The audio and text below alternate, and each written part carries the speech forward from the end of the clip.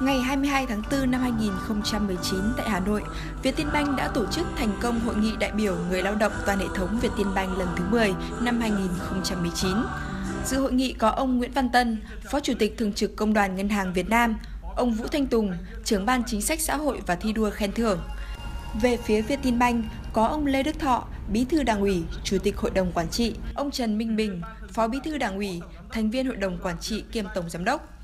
Ông Nguyễn Đình Vinh, Phó Tổng Giám đốc, Chủ tịch Công đoàn Vietinbank cùng các đại biểu đại diện Hội đồng Quản trị, Ban điều hành, lãnh đạo các đơn vị trụ sở chính và các chi nhánh, các đại biểu đại diện người lao động trong hệ thống Vietinbank. Phát biểu khai mạc hội nghị, ông Lê Đức Thọ nhấn mạnh, hội nghị là sự kiện chính trị quan trọng đối với cán bộ, nhân viên và người lao động trong toàn hệ thống Vietinbank. Hội nghị được tổ chức với mục đích phát huy dân chủ trực tiếp của người lao động, tạo điều kiện để người lao động được biết, được tham gia ý kiến, được quyết định và giám sát những vấn đề có liên quan đến quyền lợi, nghĩa vụ và trách nhiệm của mình.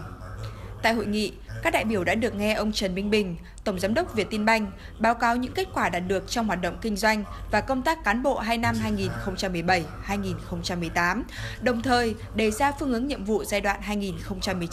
2019-2020. Hội nghị đã nhất trí thông qua báo cáo tổng kết phong trào thi đua của Công đoàn Vietinbank năm 2017-2018 và các nội dung phát động thi đua của năm 2019-2020 với khẩu hiệu hành động đoàn viên lao động toàn hệ thống Vietinbank nỗ lực, đoàn kết, chủ động, sáng tạo, phấn đấu hoàn thành xuất sắc nhiệm vụ, chào mừng 90 năm Công đoàn Việt Nam đồng hành cùng đất nước.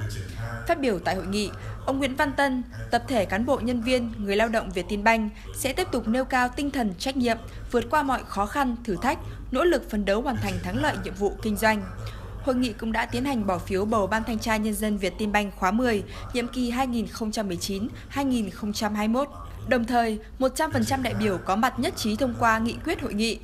Hội nghị đại biểu người lao động Việt Tin Banh lần thứ 10 năm 2019 đã kết thúc thành công tốt đẹp. Thành công của hội nghị đã tạo bầu không khí đoàn kết, phấn khởi, hăng hái phấn đấu làm việc vì sự phát triển an toàn, hiệu quả và bền vững của Việt Tin Banh. Việt Tin Banh nâng giá trị cuộc sống.